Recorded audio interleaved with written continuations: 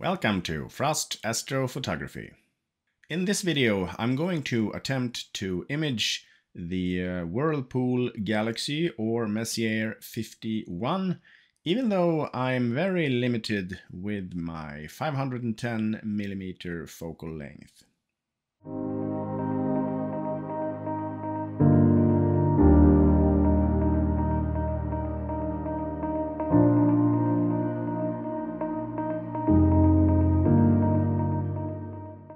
It is Galaxy season, or at least at the time of the recording of this video, but here at 63 degrees north, that is a very short season. It has actually not been astronomical darkness at all since April 11th here. And I was lucky enough to get a few nights, or just one night actually, this season for Messier 51 and I have combined that with data from last year in January, I believe it was 2023, and was able to produce somewhat of an image to show you. Messier 51, or the Whirlpool Galaxy, is in fact a spiral galaxy located about 23.5 million light years from Earth. It is about 88% of the size of our own galaxy, the Milky Way, and spans over 76,900 light years. The galaxy has two very prominent spiral arms, and it is also interacting with its companion. One possibility is that the companion galaxy NGC 51 9, 5 actually passed through the main disk of Messier 51 uh, about 5 to 600 million years ago. In this possible scenario, NGC 5195 may have passed through from behind and also made another pass through the disk about 50 to 100 million years ago and it is now located, as we observe it, slightly behind Messier 51. Since this is a broadband target, I'm not using my regular SHO filters. I'm using my L, R, G and B broadband filters and I was able to complete uh, the set of data with the data that I gathered for over a year ago making up a total of 77 light frames of 300 second each, giving me a total integration time of 6.4 hours. Let's jump into PixInsight and look at some processing steps for this galaxy.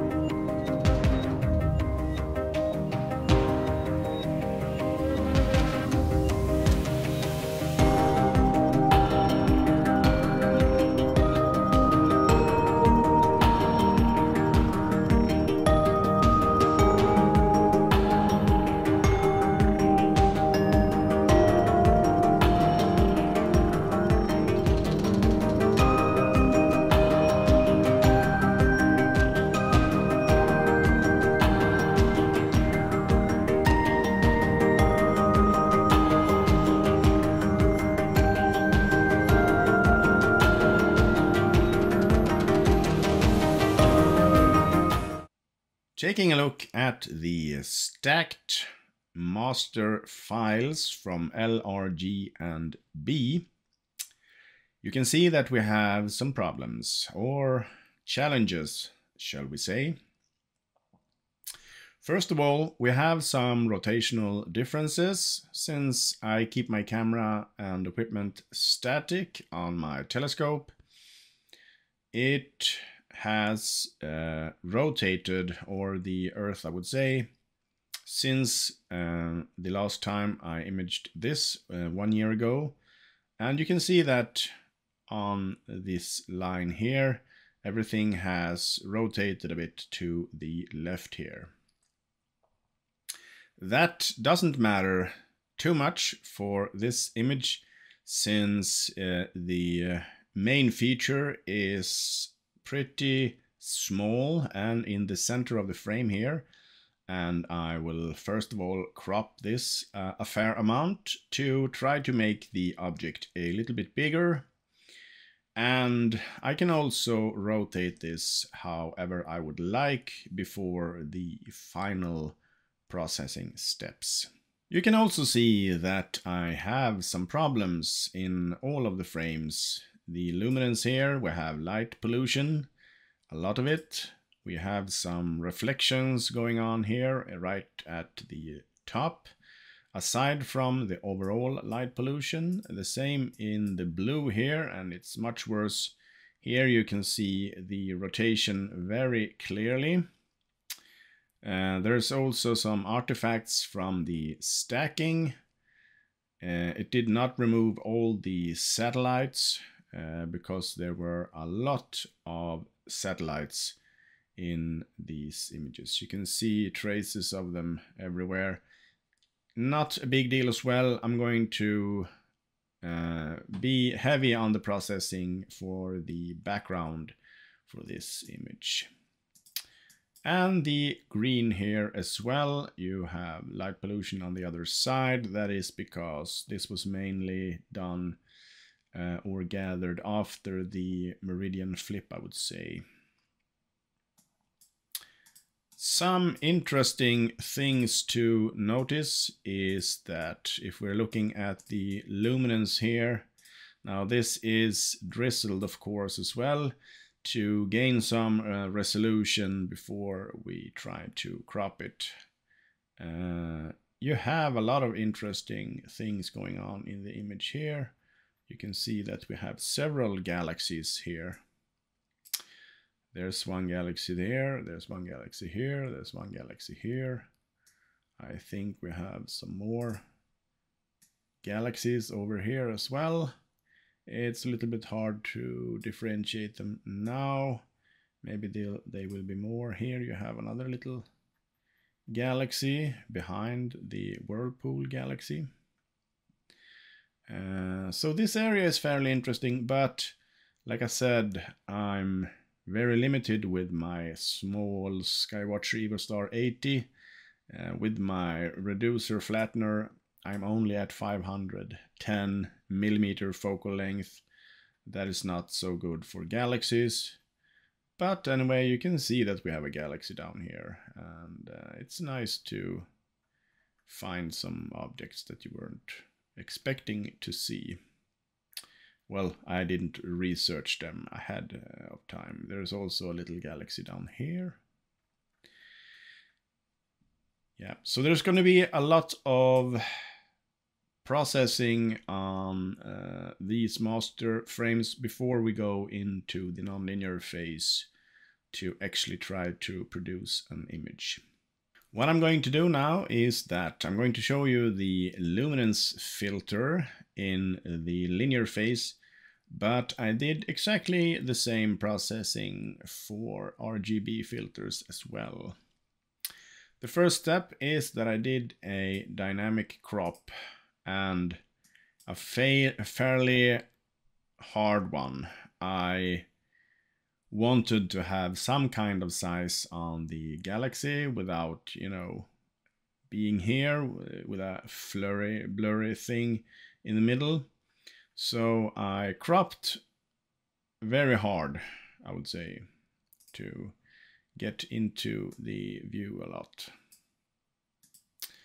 Uh, I do also did a gradient correction and that is to try to remove some light pollution and normalize the frame here. I did a dynamic background extraction uh, after the gradient correction and I actually saved the DBE parameters for the first image, you know, drag the triangle down to the workspace here and then you can open it on all of the other images. And if you do that on Luminance, you can be quite sure that you're not uh, ending up on a star, for example, with any of the points. And I did a linear fit to all of the frames using the luminance as a master. And then I did the blur and noise exterminator. And I think I got a fairly good result, uh, reducing the stars somewhat. It is challenging when you're cropping this hard, I would say. Uh, but I do want to have a little bit bigger picture. I don't want to be restricted to a small little dot in the middle. That is not very satisfying. You can see this galaxy clearly down here.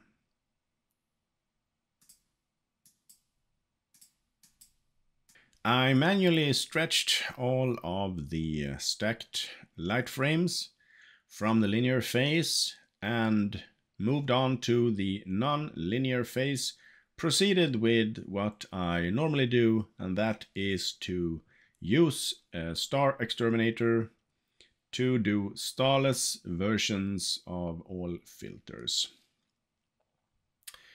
As you can see here, I have uh, some things I want to address. You can see some artifacts from a satellite passing here.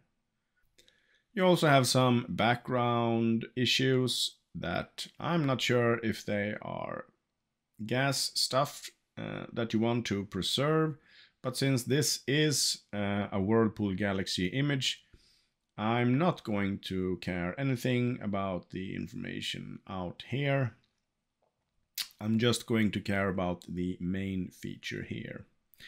For that, I'm using a range mask and a fairly big one. I extracted the um, luminance from the luminance filter and I've actually removed all of the background making this mask just protecting the central area. Uh, you can apply this mask to uh, the image that you want to adjust and then invert it to protect just the central area of the galaxy. You can also remove show mask so you can manipulate this freely. What you can do now is that you can open up Curves Transformation, uh, open up a preview and try to adjust the background here like you can see me doing now. You can remove some of the noise or things you don't want in the background without affecting or just slightly affecting the outer edges of this galaxy. When you're finished, you can simply remove the mask. And I did this for all four filters ending up with something looking like this. So before adjusting background and after for the blue filter, for the green here, before and after adjusting.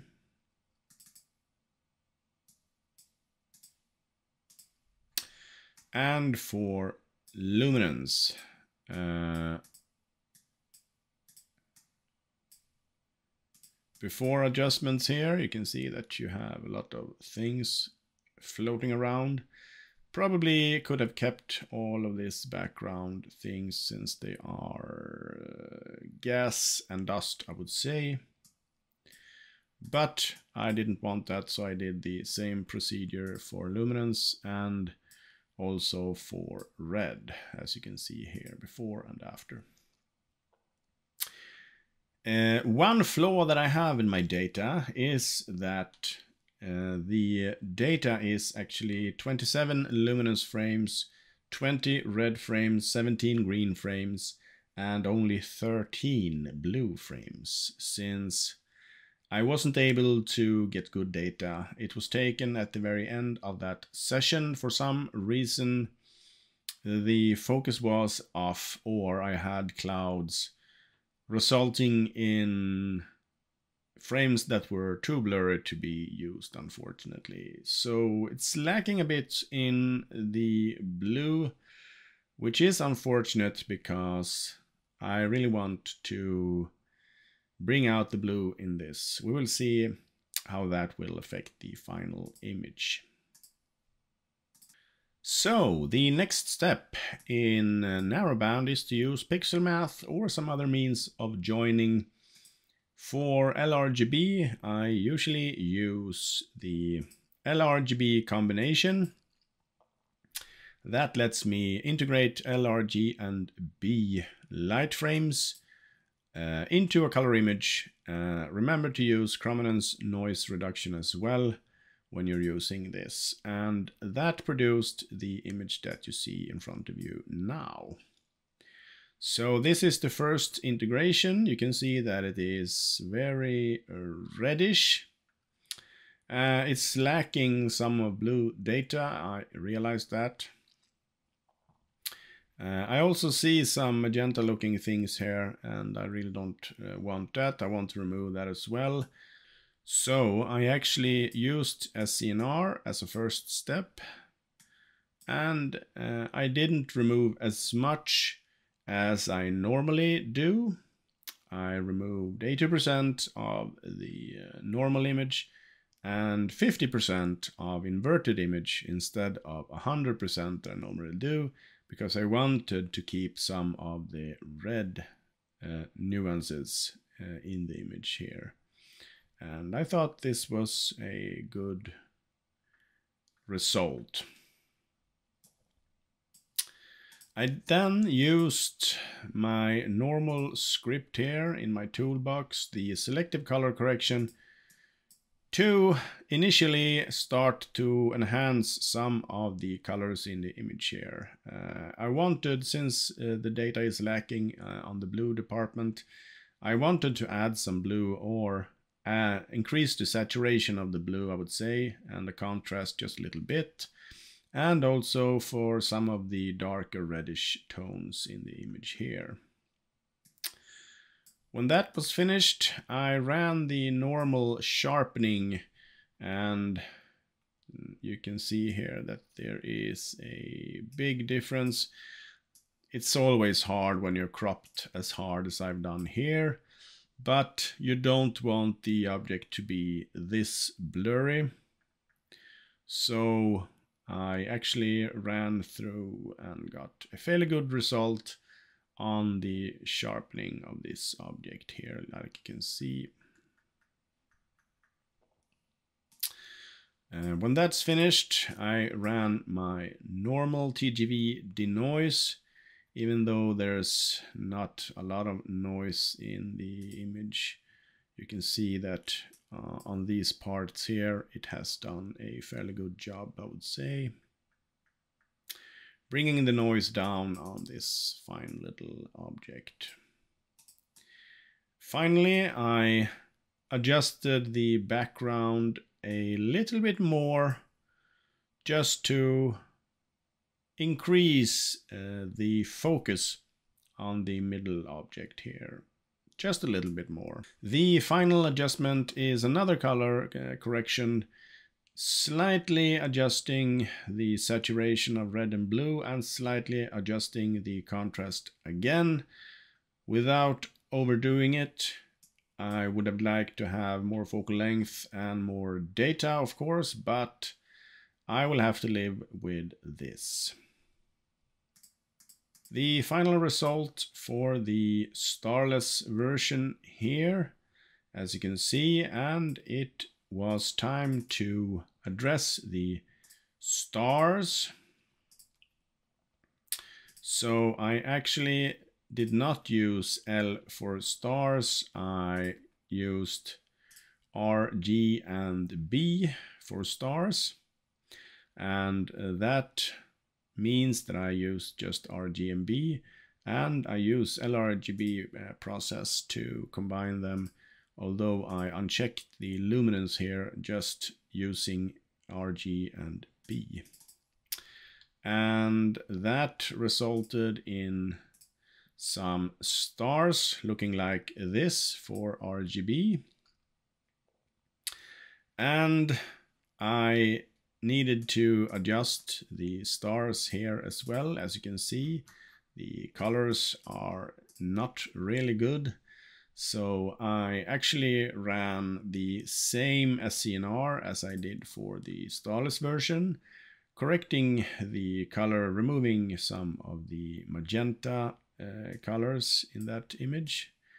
I also color adjusted a little bit uh, you hardly see any difference here, but increased saturation on blue and red a little bit and some increased contrast. And then I did a reduction of the stars that I normally do just to be able to make the galaxy pop out here in uh, the end. Combination of the two here so we have an, an image that is LRGB of the Whirlpool Galaxy Messier 51 and we have RGB stars in the background. It is heavily cropped.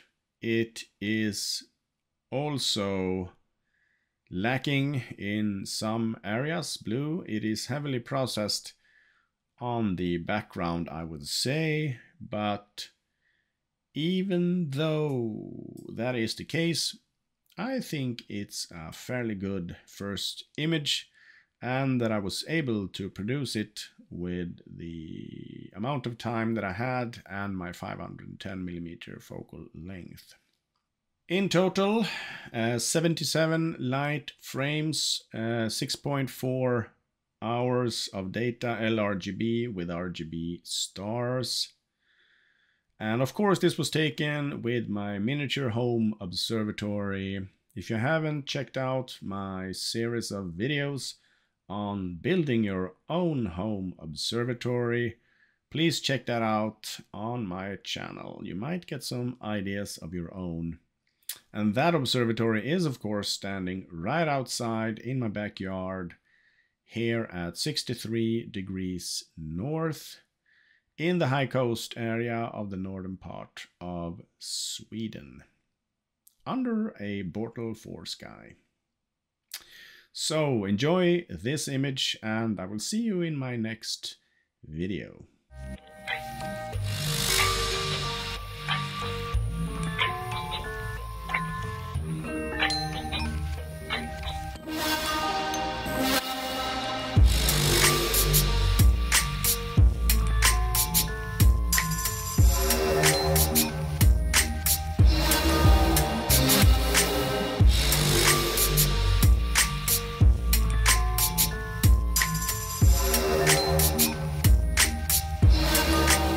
Thank you so much for watching this video and if you like it please give it a thumbs up and consider subscribing if you're not already doing so. If you want to support me and the work with these videos, there is an option listed in the video description that you can use. Until the next video, I wish you have clear skies.